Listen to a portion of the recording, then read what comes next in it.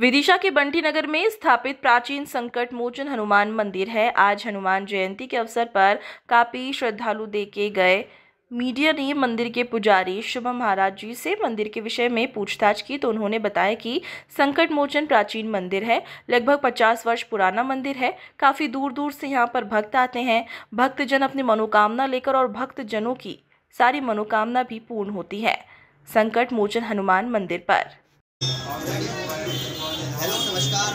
ठाकुर के न्यूज़ से आइए, आज हम बात करते हैं सागर पुलिया सागर रोड पे मंदिर है, संकट मोचन हनुमान मंदिर।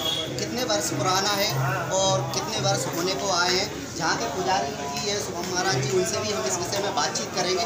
आइए, कैमरा स्टाइल लेके आइए आप। मंदिर तरफ़। ये संकट मोचन हनुमान मंदिर है, सागर रोड पर।